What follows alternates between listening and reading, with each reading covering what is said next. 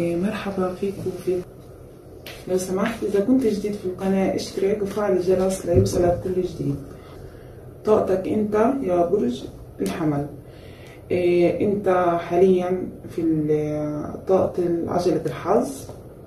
احتمال إنه أنت تكون حاسس نفسك يوم بتكون ناسي هذا الشخص ويوم بتكون إيه متذكره. يعني أنت بين إيه بتحس طاقتك طلعت ومبسوط وسعيد وفجأة بتقعد بتركز في كل الأحداث وبتعيد كل الأحداث بتكررها مثلا من حد ما بلشتوا في العلاقة لحد ما انتهت العلاقة. أو إذا يعني طبعا البعض منكم إذا أنتوا في انفصال وإذا أنتوا مع بعض أنت حاسس إنه مشاعرك اتجاه الشخص أحيانا بتزيد اللف عليه وأحيانا بتقل مثلا تصرفاته أو أي شيء بيخليها تقل. إنه مثلا هو مهمل أو متجاهلك إذا أنتوا في العلاقة إذا أنتوا منفصلين فأنت حاليا بتدير هاي العلاقة وأنت كمان مخليها تاركها لله تاركها للحظ. وإذا في نصيب انكم تلتقوا مثلا راح تلتقوا. إذا ما في نصيب يعني مؤمن بالقدر. وإذا ما في نصيب إنه ما تلتقوا ما راح تلتقوا. هيك أنت. آه أنت شايف إن هذا الشخص هو الحب اللي انت بتتمناه أو الحب اللي انت كنت بتدور عليه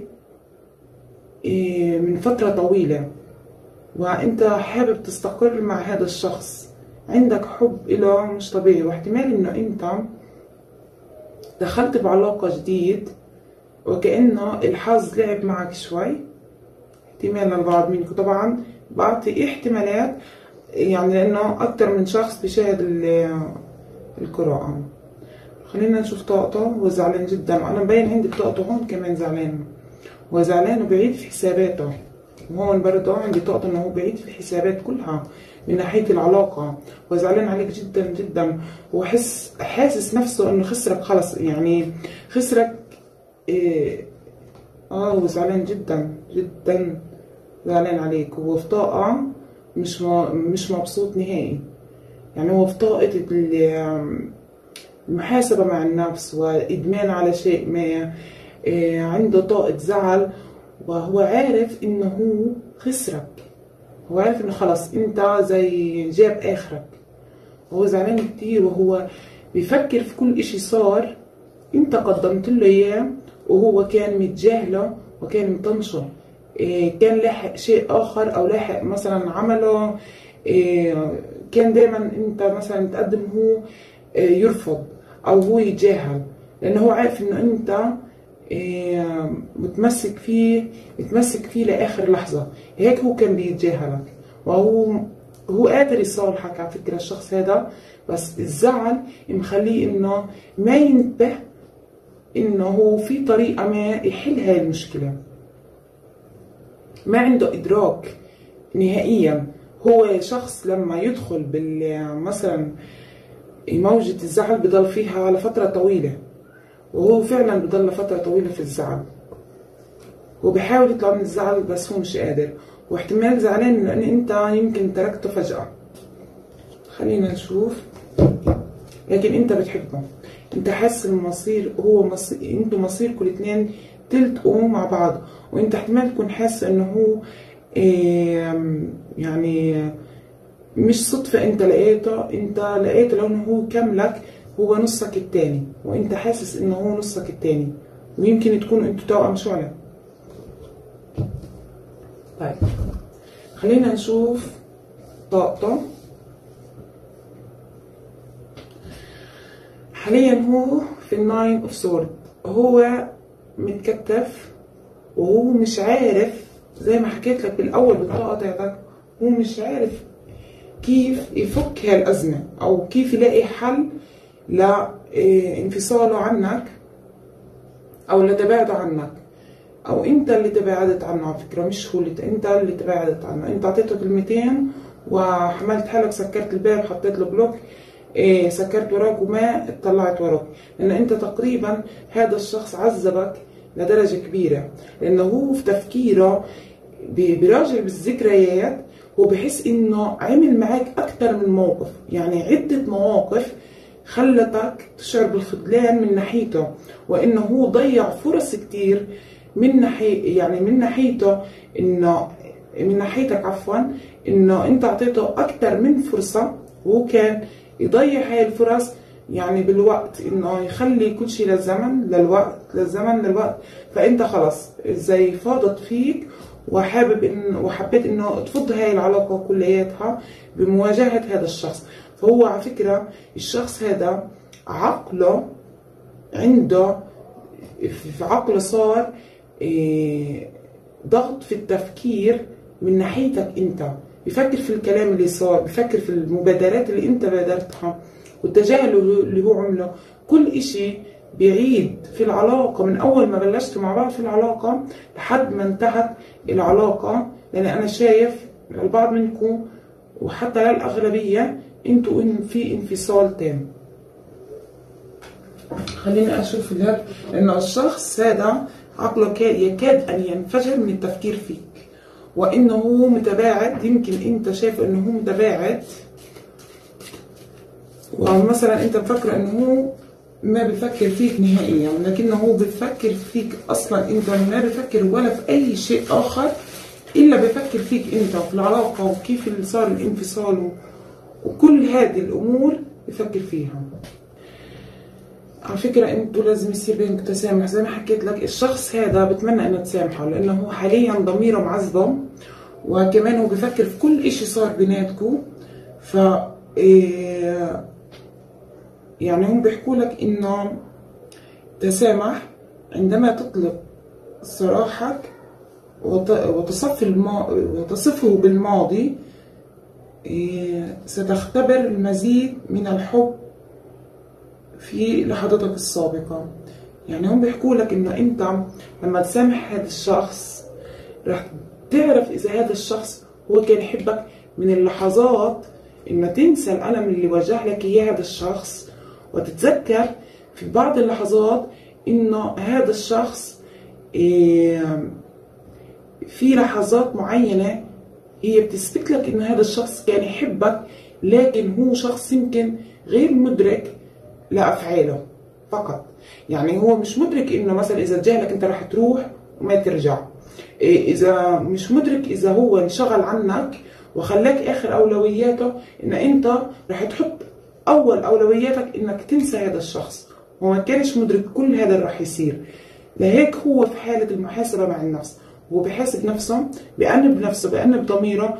لهيك هو في طاقة يعني تعبان والشخص ده على فكرة مريض أو تعبان نفسيا من الانفصال اللي صار. الشخص تعبان. و تعبان ومريض. واحتمال إنه داخل بحالة نفسية مخليته هو تارك أعماله تارك أشغاله ومقيد بس بفكرة إنه أنت الشخص إيه، خسرة. بالنسبة له أنت شخص خسرة. يعني من الآخر. فهم بيحكوا لك هون لازم يصير تسامح في هاي العلاقة. التسامح بيخليك انك تنسى شو الشخص هذا عمل فيك وتتذكر له الأشياء الحلوة اللي هو عملها. لما أنت تتذكر الأشياء الحلوة اللي هو عملها أكيد رح تصفح عنه وتسامحه وتدرك إنه هذا الشخص كان يحبك. لكن افعاله كانت تثبت لك عكس ذلك. طيب هو كيف شايفك وليش شايفك بهاي الطريقة؟ هو شايفك صامت وشايفك إنك أنت انفصلت عنه لكن هو شايفك إنه أنت صرحت أو وضحت له إنه أنت مثلا إذا ما تغيرت من اتجاهي راح أنفصل عنك. أنت صرحت له. أنت أعطيته الكلام اللي كنت انت كابته جواك.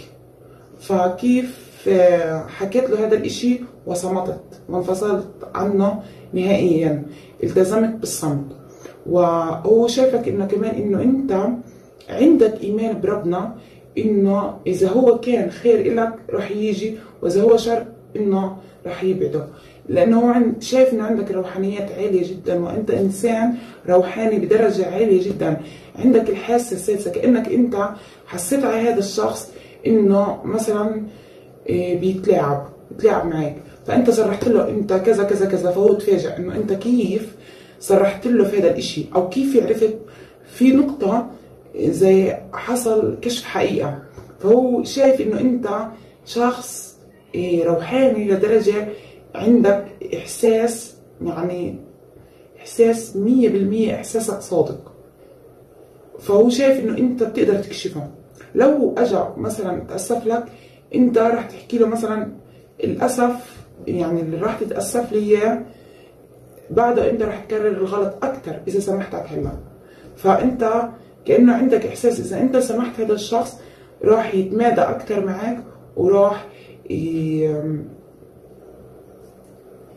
يعني راح يعيد كل إشي عمله فيك دبل فهو عارف إنه أنت واضح أو كاشفه. أنت كاشفه. أنت كاشف هذا الشخص هو عارف. عشان هيك هو متخبي. وعشان هيك هو بيراجع بنفسه بالذكريات كلياتها. أنت شخص تكشف. بالحاسة السادسة بتكشف الأشخاص اللي أمامك. هيك هو شايفك إنه أنت صامت وفجأة بتهب. وفجأة بتصمت وفجأة بتطلع تحكي وفجأة بتصمت يعني هو شايفك إنه أنت مش متناقض لا أنت زي ما تحس إن هذا الشخص بلش خطوة مش صح من ناحيتك بتطلع بتصرح إن أنا بعرف إن أنت مثلا آه، مش صحيح أو أنت مش صريح أو أنت مش واضح أو أنت آه، في حركة مثلا ندالة من وراك أو حركة غير صحيحة من وراك. فهو شافك إن أنت كاشف رائع يعني أنت كاشفه. كاشف كل ألاعيبه وكاشف كل خطواته. أو هو زحقك بنفس بنفس الحركات اللي بيعملها بيكررها معاك. آه، فهو شافك إن أنت صريح وهو غامض. أنت كنت بالوقت اللي آه، كنت لازم تكون فيه غامض كنت صريح وهو في الوقت كان لازم يكون فيه صريح هو الغامض يعني عكسك كان لكن شافك بعض الغموض وبعض الوضوح. يعني واضح بعض الشيء؟ وغامض بعض الشيء. وبتقدر تكشف الشخص اللي قدامك شو بده يعمل. طب هو كيف شايفك؟ وكيف شايف شخصيتك؟ هو شايفك ان أنت مستقر؟ مستقر ماديا أو مستقر مع عائلتك؟ مش شرط إنه نحكي مستقر ماديا يعني أنت مثلا إن شاء الله الله بيعطي الجميع بيكرم الجميع. لكن هو شايفك إنه أنت يعني لما نحكي هو شايفك مستقر ماديا احتمال إنه أنت مثلا موفق بشغل معين. أو أهلك مثلا ناس مرتاحين ماديا. وأنت مثلا سعيد مع أسرتك من خلال انه متوفر لك كل احتياجاتك. واحتمال إنه أنت شخص تشتغل في عمل إيه، إيه، موفر لك كل احتياجاتك الخاصة. فمش شرط إن تكون أنت يعني في ناس بيحكوا إحنا لا نملك شيء أنت بتملك راحة البال. أو تملك إخوة يخافوا عليك. أو أهل يخافوا عليك. فهذا بشوفه هو الشخص هذا بشوفه أنت تملك إشي فائق يعني إشي أكتر من المال. لأنه كارت العشر نقود التين أوف بنتكال هو السعادة والراحة والرخاء. السعادة بين الأهل والأسرة. احتمال تكون أنت شخص متزوج وانفصل على هذا الشخص عنك بسبب إنه أنت في زواج أو كشف إيه، أو صرحت له إنه أنت مثلا ما بتقدر تستغني مثلا عن أسرتك.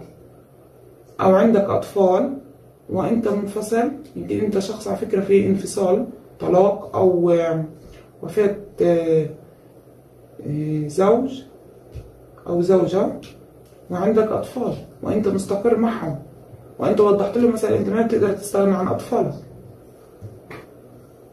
فهو شايفك مستقر عائليا وماديا. واحتمال إنه تكون أنت مستقر إيه، مع عائلتك. ومثلا أهلك بيحبوك إمك بتحبك إيه، أختك أخوك. يعني هذه هو شايفها إنه استقرار بالنسبة لك هو شايفك إنك أنت شخص لما بعدت عنه استقريت. دورت على استقرارك بسرعة. هو كيف شايف شخصيتك؟ هو شايفك طيب جدا ال Page of Pentacles شايفك شخص صغير لكن عاقل وناضج. وشايفك إنه أنت زي ما حكيت لك إنه أنت روحاني جدا. أنت عندك حس عالي في إنك إيه، أو إحساس في الأشخاص اللي أمامك إنك تكشف نواياهم. هو شايفك هيك. وشايفك كمان إنه أنت بتحب تركز على عملك أكتر ما تركز على العلاقة أو العاطفة. أو لو حتى هذا الشخص أذاك أنت بتروح تتجه نحو إنك تركز على عملك أو على استقرارك المادي والأسري فقط. يعني مش راح يمكن أنت بتضج مرة واحدة ولكن تصمت مرة واحدة. وهو شايفك إنه أنت آه، شخصية آه، طيبة جدا هادئة نوعا ما. وكمان شايفك إنه أنت بتحب تقدم الخير لكل اللي حواليك. لكن إذا الشخص حاول يستغل الطيبة فيك أو الخير اللي أنت بتقدم له إياه. شفته استغلال أنت رح تقطع معاه فورا. أنت بتقطع. أنت بتحبش حد يستغلك حتى لو أنت طيب. أنت بتحس إذا الإنسان اللي أمامك بيستغلك أو لا. هو شايفك هيك.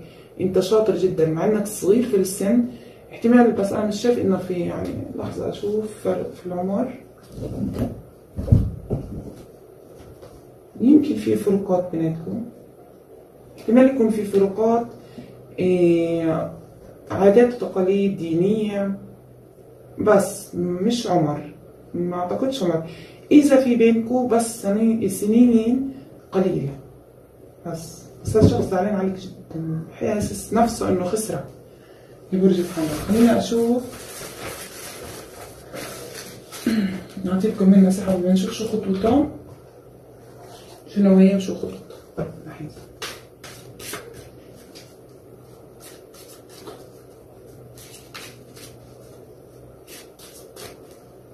رح أعطيك كمان نصيحة من الكارت من الرومانس المون. نشوف شو بحكوا لك هون. أنا راح اعطيكم كمان كارت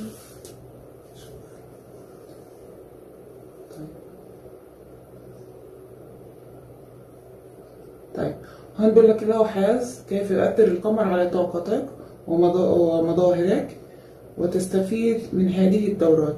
يعني انت لما في إيه، في طاقة احتمال الشخص هذا مأثر عليك.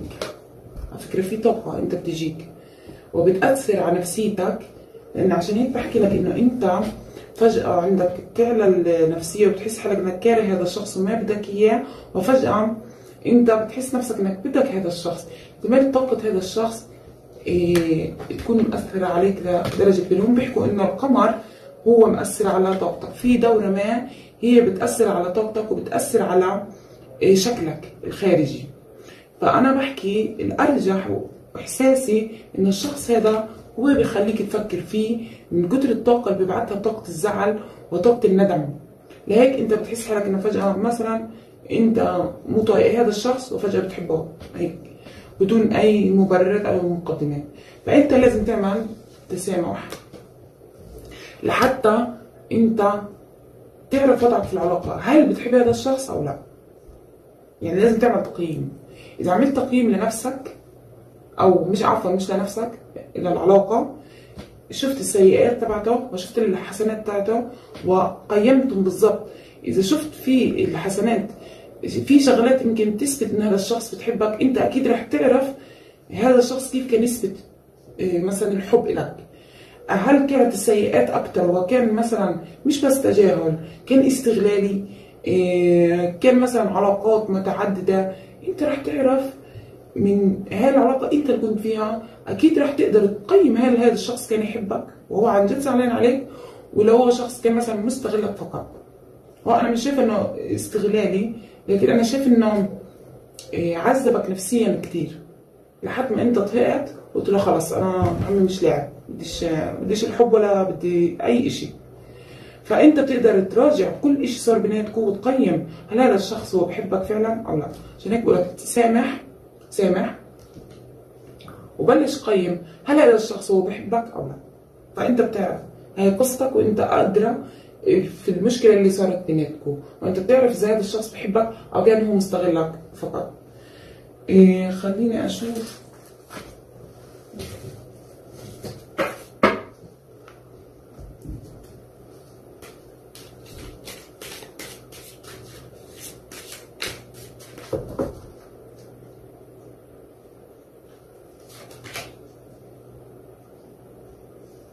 هي شكلها الموقف هذا ينطوي على زواج. احتمال إيه أنت تكون شخص متزوج أو هو شخص متزوج. أو أنت صرحته إذا مثلا ما تزوجتني أنا إيه رح أقطع هاي العلاقة. ففي شخص منكم في زواج. أو أنتوا كنتوا في زواج وانفصلتوا عن بعض. طيب خلينا نشوف إيه الشخص هذا شو نوايا وشو الخطوة اللي راح يقدمها ناحية عفوا طيب. الشخص هذا نوايا إنه يصبر عليك ويظهر لك نفسه بشكل تاني غير اللي أنت بتعرفه. احتمال يكون على فكرة في فرق بينكم في العمر بس مش كتير. وكمان احتمال يكون أنتم من قرية آه عفوا من مدينة وهو من مدينة أو قرية. احتمال انت قروي أو هو قروي وكمان هذا الشخص حابب إنه يكابر ويفرجيك إنه هو آه شخص مثلا تقيل وشخص آه مثلا إنه شخص ال King of Wands يعني شخص الإيجو عنده عالي أو بده يفرجيك كبرياء أو إنه مثلا هو ما بيقدر ينهي أمام هاي العلاقة. لا تكون أنت مثلا رفضت تنفصل عن زواج سابق أو انت كنت متزوج ومنفصل عن منفصل عن زواج. فالشخص هذا بده يظهر لك بده يظهر انه هو إيه خلينا أشوفها أكتر. أنا شايفه إنه بده يرفع الإيجو عنده بس. هذا نوايا ويقعد يراقبك من بعيد. ردات فعلك لما أنت تشوفه إيه مثلا هو مثلا إيه ما انهز للعلاقة كلها أو إنه ما عندوش مشاكل إنه تتركه فهو بده يشوف ردة فعلك وتتحركش فيك يعني تتحركش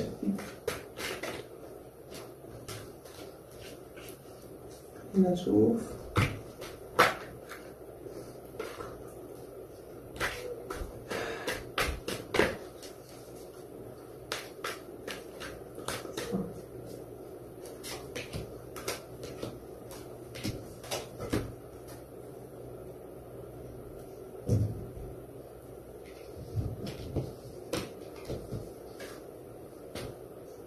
الشخص هذا بفرجيك إنه سكر على الموضوع وإنه مش همه إشي. هاي خطوته وإنه الإيجو عنده عالي لكنه مهتم ومنهار لكنه بده يفرجيك إنه هو شخص سكر على الموضوع بالنسبة له انتهى الموضوع وإنه هو قادر إنه يتجاوزك.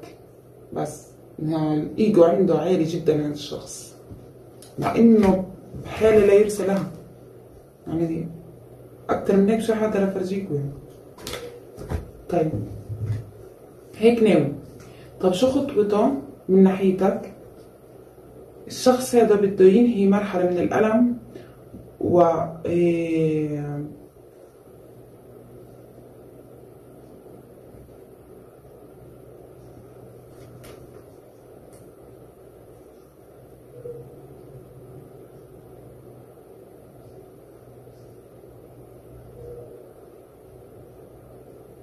الشخص هذا يخبي عنك انه تعبان خطوته وأنا وياه نفس الإشي.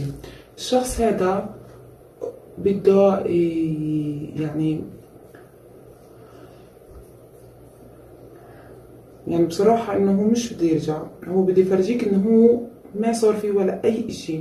بده يخبي ويعاند الشخص هذا.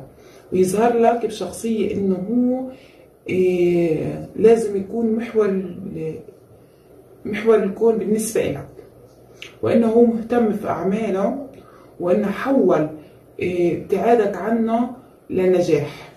هو دي يفرجيك بس هيك.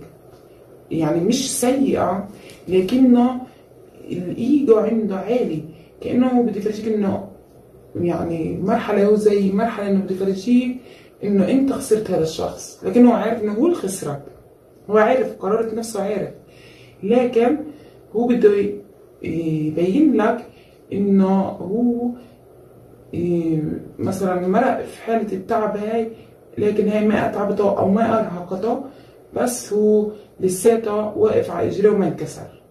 وبده يفرجيك إنه هو انهى الألم وبدأ بداية جديدة من ناحيتك أو مش من ناحيتك من ناحية نفسه أمامك فقط.